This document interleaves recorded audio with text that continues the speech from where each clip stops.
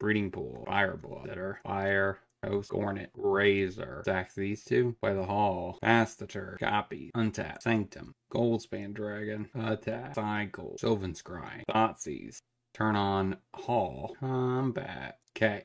Otawara targeting Hall. Impulse. Impulse. Watery Egret. Turn on the Hall. Go to combat.